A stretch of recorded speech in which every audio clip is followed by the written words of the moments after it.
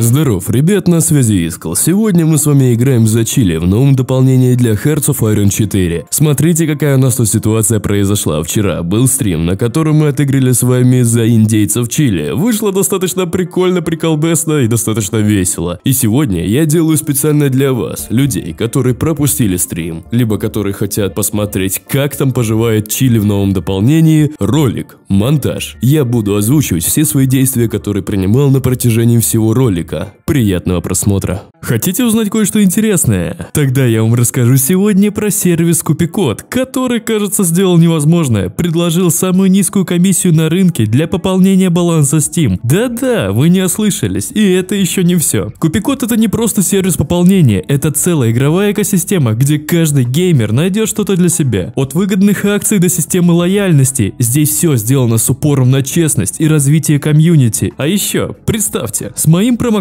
комиссия на пополнение падает еще на 2%, а на покупку игр гифтом скидка в целых 10%. Ну разве не шикарно? Промокодик на экране пользуемся. И если вы думаете, что это сложно, куда там? Все происходит три простых шага. Вводите логин, мой промокод, применяете его и бац, выбираете способ оплаты. И самое главное, ваш аккаунт остается в полной безопасности, ведь пароли и прочие данные сервис не запрашивает. А для тех, кто всегда ищет выгоду, первое пополнение баланса Стима по моему промокоду идет без всякой комиссии. И да, не забудьте про конкурс Купилиард. Пополняйте Steam и выигрывайте Steam Deck. Как вам такая акция? Так что, если вам нравится играть в Стиме и вы из России, где некоторые игры найти непросто и купить трудновато, загляните в раздел «Недоступные в РФ» на сайте Купико, там собраны игры, которые вы точно не найдете в магазине Стима, но благодаря Купикоду они будут у вас на аккаунте, без всяких танцев с бубном. Не забывайте про мой промокод, с ним игры будут еще дешевле. Ну как, впечатлило? Тогда мчитесь на сайт Купикод и пополняйте свой баланс уже сегодня. Все ссылки в описании и закрепленном комментарии. Там же и промокодик.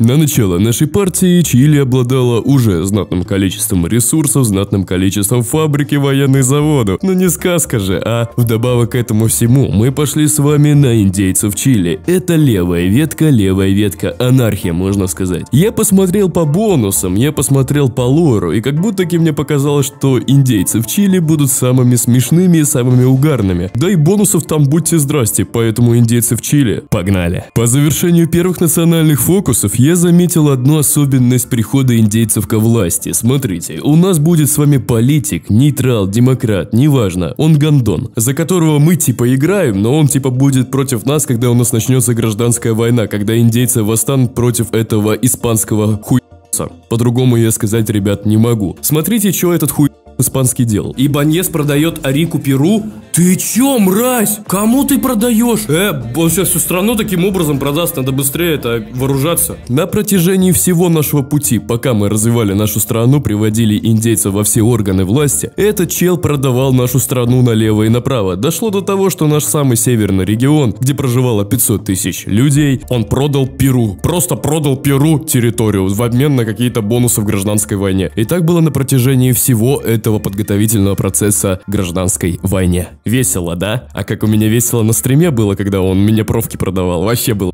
Весь. Гражданская война наступила, и тут начался самый-самый-самый ад. Во-первых, мы же с вами играем за Чили. Чили сравнимо, наверное, с какой-нибудь Исландией по степени сложности боевых действий. Объясню почему. У нас везде долбежка в одной, в двух провках, в горах. Нормально так поживаем, да?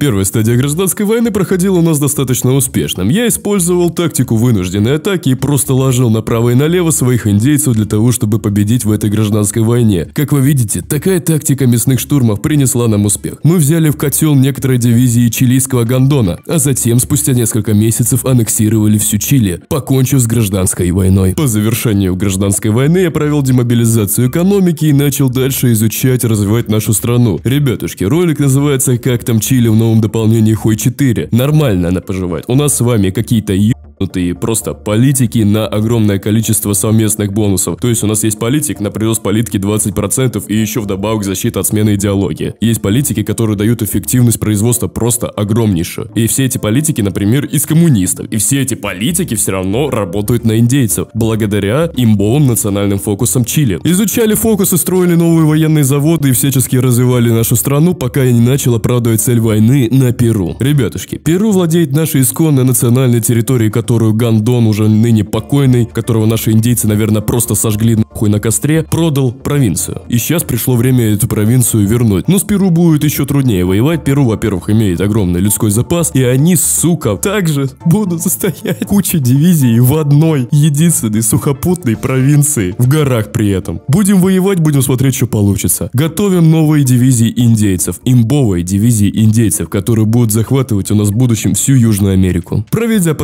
подготовительные мероприятия, объявив войну Перу, я добился сначала маленьких таких, ну, можно сказать, территориальных изменений. Почти я вернул себе обратно нашу индейскую, исконно, сука, русскую провинцию, но все-таки главный регион не удалось взять под контроль, потому что там Перу укрепила очень сильно свои позиции. Перу еще воюет с Эквадором, но это нам никак не помогает, если честно. Тогда я начал делать план капкан. Тогда я начал планировать высадки вокруг столицы Перу. И знаете что? Получилось практически столицу Перу взять, но противник подвел свои резервы и выбил нас, уничтожив 4 полностью обученные и укомплектованные дивизии чилийцев. Как там мертвых провожают у индейцев? Отправляют в лодку в дальний путь просто в Тихий океан куда-нибудь. Также мы и простились со всеми нашими бойцами. Тогда я принял решение повторить трюк Адольфуса Гитлера. Только в нашем случае не будут укрепления десятки, а будут ебучие горы Перу, которые меня уже ебали, если честно. Нарожали мы еще хороших солдат, как говорится, отправил я их сразу подготавливаться к вылуплению. И мы с вами будем готовиться нападать на Боливийскую республику в обход линии Перу, блять. Боливийская республика слабее нас, по дивизиям она сильнее нас, но я думаю, ничего страшного не будет. Закотлим, уничтожим, в лесах намного удобнее пробиваться, чем в ебучих, опять же, горах. Этот ролик, конечно, бомбезный, у меня сегодня выйдет столько мата, ребят. Ну, если что, я все вырезаю. Как только оправдание цели войны было готово, я сразу напал на Боливийскую республику и просто стер ее с лица земли. Да вы сами видите все на экране. Уничтожали мои дивизии налево и направо. Хоть и дивизий у них было больше, но у нас дивизии были лучше качеством. И у нас, во-первых, сука, огромные бонусы на нашу армию благодаря нашим не менее имбовым фокусам на Чили. Вообще, я посмотрел фокусы на Чили, на Аргентину и так далее. Среди всех южноамериканских стран самые сильные страны это Чили и Аргентина. У них такие бонусы, ребят, это вообще жесть. Просто новые Финляндии. Две новые Финляндии в Южной Америке. Закончив с Боливийской республикой, заставив ее капитулировать и полностью забрав все ее территории, я принялся за моего давнего сука врага, Перу. Как у нас сладко пошла наша атака. После того, как мы добились аннексии Боливийской республики, мы начали атаковать по всему фронту перунских солдат. Они просто не справлялись с индейским натиском. Таким образом, мы котлили их, уничтожали и всячески мстили запавших солдат. Взятие столицы было вопросом времени. После падения столицы и уничтожения остаточных подразделений перунских долб мы закончили войну с Перу и аннексировали все Перу, забрав также их флотилию. Недолго думая, я начал готовиться к войне с Эквадором, который страдал от перунской экспансии очень долгие времена, но теперь будет страдать от чилийской экспансии, от чилийской агрессии. Кроме того, мы начали поставлять в армию активно новые самолеты по самому лучшему шаблону. Самолеты дают нам просто офигенные бонусы на прорыв, на атаку, на защиту. Ими не пользуются просто преступление, особенно учитывая учитывая, что здесь везде горы, блять, которые и так очень сильно вредят нашей армии. Хочу также похвалить чилийские имбовые фокусы. Что фокусы на армии, что фокусы на промышленность, везде нам дают фабрики, военные заводы и верфи. А кроме того, и кучу бонусов на производство. Я счастлив. Война с Эквадором проходила достаточно успешно. Эквадор, кстати, держал линию обороны возле своей столицы, особо не атакуя наши подразделения. Он боялся нас еще больше, чем Перу, оно и понятно. Когда на тебя бежит идеец с палкой, страшно становится. Пробившись на равнинах, в лесах, в джунглях, неважно, мы получили стратегическое преимущество. Дело оставалось за малым. Уничтожить эквадорские дивизии, попутно котлив их и закончить войну. По окончанию войны с Эквадором мы получили выход к Венесуэле и Колумбии. Это следующие наши цели на пути к нашему вечному, как говорится, индейскому миру. Попробуем захватить Колумбию, попробуем захватить Венесуэлу. Это уже крепкие орешки. Например, Колумбия имеет неплохую промку, неплохие дивизии, но при этом достаточно интересную территорию, где можно успешно попробиваться. А Венесуэла, в свою очередь, имеет достаточно хороших союзников в виде Эстонии, Дании и Доминиканской республики.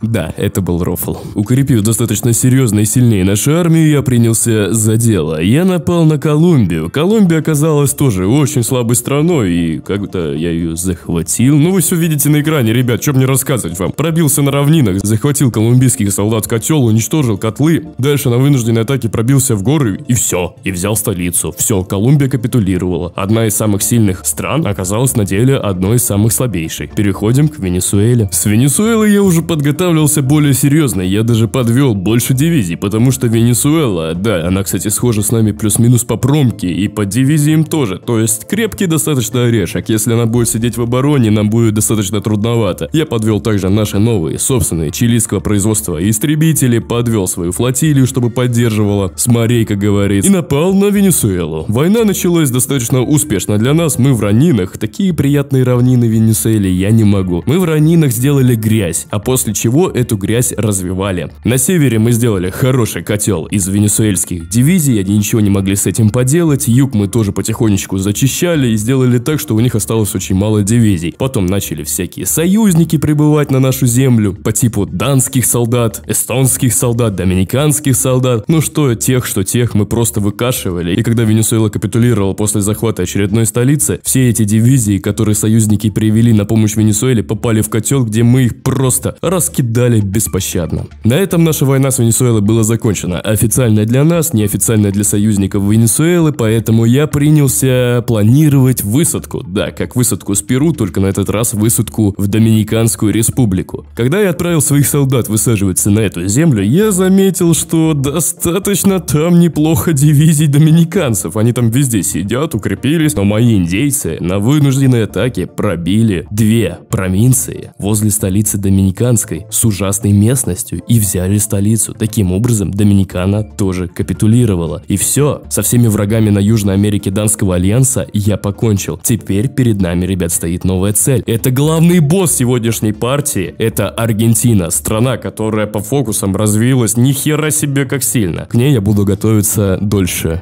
обычного. Спустя полгода я мобилизовал даже стариков в нашу индейскую армию. Служить должны, сука, все. Единственная проблема, с которой я сталкивался на протяжении всей своей игры, это недостаток людских ресурсов. Я каким-то образом его, конечно, пополнял, благодаря политикам, фокусам, но все равно постоянно, сука, не хватало. Ладно, не об этом суть. Полноценные две армии и еще одна армия, которая держит у нас юг, общий с Аргентиной, были готовы у нас напасть на Аргентину. Недолго думая, напал я на Аргентину. И как я тогда на стриме сказал, ребяточки, я хочу сделать маленькую детскую шалость. И включил, сука, автоплан, блять. Это была самая главная ошибка вообще за всю эту партию. Я просто буквально за пару дней 130 тысяч бойцов потерял и дальше перешел уже на нормальное ведение боевых действий ручками. Основной прорыв аргентинской обороны произошел у нас на севере, где я и стал развивать успех. Там везде равнины, там везде джунгли, леса, там нам удобнее пробиваться, чем сука в бучих горах. Как меня горы за эту партию заколебали. Чисто сегодня весь ролик долбежка в горах, так или иначе была. На севере мы создавали с вами первые котлы, создавали даже масштабные котлы, где варилось по 15, по 10 дивизий аргентинцев. И в конце концов на Аргентину влетел второй мастодонт, у которого в армии не 500 тысяч, как у нас, а около 2 миллионов солдат. Это японский сигунат. Япония каким-то образом воюя с Мексикой захватила у нас Бразилию. И теперь она сидит тут в Бразилии, чилит, кайфует. И я такой, понимаю, Улетела она на Аргентину, не смогла она пробить Аргентину. Все равно мы все там котлы сами закрывали. По мере того, как мы с севера пробивались, я начал пробиваться на юге и в центре нашего фронта. Таким образом разрезал просто линии обороны аргентинцев, уничтожая их дивизии в котлах и так далее. По окончанию этой войны, война закончилась, конечно же, капитуляцией Аргентины. Аргентина даже уступила в альянс к Дании, но все равно это не помогло. Минус еще один враг Данского альянса на Южной Америке. Аргентина капитулировала. Все, мы захватили эту страну и у нас стало больше 100 фабрик, ребят.